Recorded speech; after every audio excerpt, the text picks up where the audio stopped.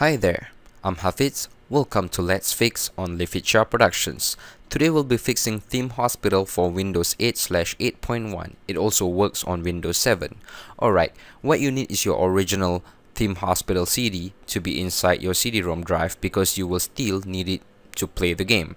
Okay, if you copy the HOSP, this thing, right to your C drive, the game will still run, but then your mouse will have lag issues and you will have problems navigating around the game because there's gonna be some slowdowns on Windows 8 so what you need to do is to go to the link that I've um, attached at the bottom of the description and then you will eventually um, able to download a fix file that is hosted actually by a themehospital.co.uk website thanks to them.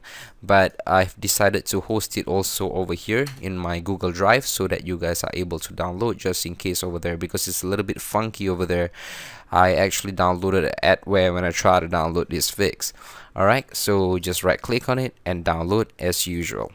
Alright so once you have downloaded that you're gonna uh, receive this theme hospital win 8 so open that up and extract this hospital to your C drive Alright, you can extract to anywhere in your program files x86 or even in your C drive, whichever or wherever. I personally put it in my games folder.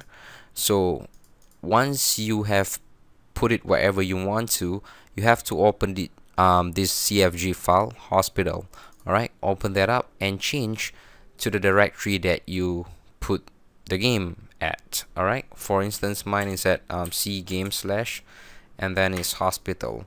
That's it.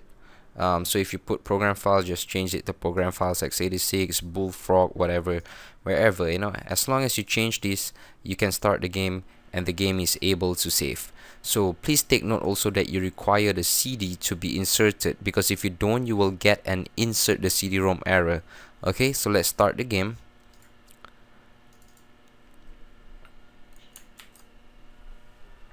right here we go.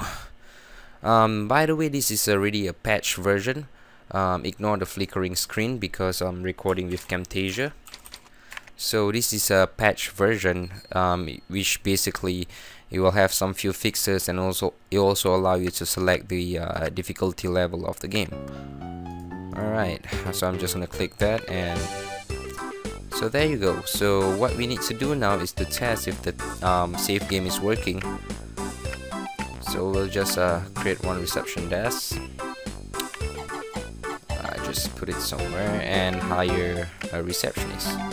Right this is just a test. So go to file save and game save okay and your load is make sure it's there. So what you're gonna do now is just quit and test it. If it's working the save game. So continue from a previous save and there you go.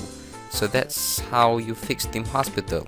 Just download extract to wherever and change the hospital.cfg now after you exit the game you will see a black square around your monitor. Just wait for a while and eventually it will go away and exit the game. So that's it. That's how simple it is. So thank you once again for checking out let's fix on Lifitcha Productions